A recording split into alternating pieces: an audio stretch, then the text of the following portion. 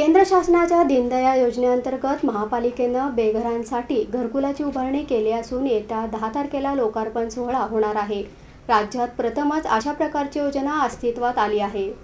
केंद्र आणि राज्य शासनाच्या दीनदयाळ अंत्योदय योजनेअंतर्गत पालिका प्रशासनानं कुमठानाका परिसरातील कुष्ठरोग वसाहतीनजीक घरकुलांची उभारणी केली आहे. राज्यात प्रथमच सोलापुरात ही घरकुलांची योजना अस्तित्वात आली आहे. दीनदयाळ अंत्योदय योजनेच्या राष्ट्रीय उपजीविका अभियानाअंतर्गत नगर अभियंता विभागानं घरकुलांच्या उभारणीचं काम पूर्ण केलं आहे या योजनेकरता एकूण एक कोटी एकोणसत्तर लाख पंधरा हजार नऊशे एकाहत्तर इतका खर्च आलेला आहे. पुरुष आणि महिलांसाठी स्वतंत्र असे दोन हॉल तर लहान मुलांसाठी तसंच मतिमंदांसाठी सुद्धा स्वतंत्र हॉलची उभारणी करण्यात आली आहे. एकूण शहात्तर लोकांसाठी ही घरकुल योजना असून येत्या दहा तारखेला लोकार्पण सोहळा होईल. तेरा जुलै दोन हजार अठरा रोजी घरकुलांच्या उभारणीस प्रारंभ झाला होता. नगर अभियंता विभागानं सातत्यानं पाठपुरावा करून संबंधित मक्तेदाराकडून घरकुलांचं काम पूर्णत्वास नेलं होतं. या घरकुलांमध्ये डायनिंग हॉल किचनची सुद्धा सुविधा असून वैद्यकीय सेवा सुद्धा उपलब्ध होणार आहे. कुष्ठरुग्णांचे बेघरांचे उपेक्षितांचे वंचित घटकांचे राहण्याचे तसेच जेवणाचे हाल आणि गैरसोय होऊ नये या उदात्त हेतूनं नगर अभियंता विभागानं अवघ्या दीड वर्षात घरकुलांची बांधणी केली. पालिका आयुक्तांच्या मार्गदर्शनाखाली नगर अभियंता संदीप कारंजे आणि विभागातील अधिकारी वर्गानं सामाजिक बांधिलकीच्या नात्यानं काम पूर्णत्वास नेलं.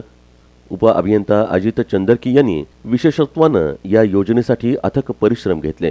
दर्जेदार कामासंदर्भात जागरूकता सतर्कता दाखवली. नगर अभियंता संदीप कारंजे यांनी घरकुलांच्या उभारणी संदर्भात अधिक माहिती दिली.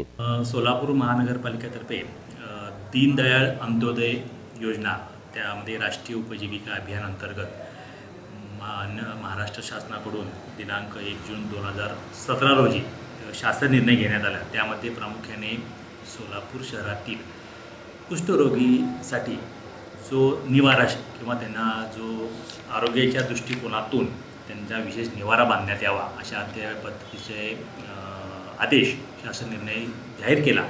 त्या निर्णयानुसार आपण सोलापूर शहरामध्ये ज्या भागात कुष्ठरोगांची वसाहत आहे त्या ठिकाणी त्यांना आरोग्य सुविधा उपलब्ध व्हाव्या आणि त्यांना योग्य पद्धतीचा निवारा असावा. यासाठी आपण त्यांना एक घरकुल एक निवारा त्या ठिकाणी बांधण्यात आलेला आहे. त्या कामासाठी आपण साधारणतः सातशे त्र्याऐंशी चौरस मीटरचं ते बांधकामाचं क्षेत्रफळ आहे आणि त्या ठिकाणी एकूण शहात्तर बेड आहेत. त्यामध्ये तळमजल्याला अठ्ठावन्न आहेत पहिल्या मजल्याला अठरा आहेत. आणि त्यामध्ये किचन डायनिंग ऑफिस स्टोअर शौचालय इत्यादीची त्यामध्ये सोय करण्यात आलेली आहे. नगर अभियंता विभागानं सक्षमपणे काम पूर्ण केलं. आता युसीडी अर्थात नागरी समुदाय विकास प्रकल्पामार्फत पुढील कार्यवाही होणार असल्याचं त्यांनी सांगितलं.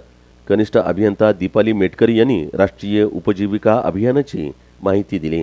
दीनदयाळ अंत्योदय योजना या योजनेअंतर्गत शहरातील बेघर लोकांकरता कुमटा नाका येथे बेघर निवारा केंद्र उभारणं उभारण्यात आलेले आहे.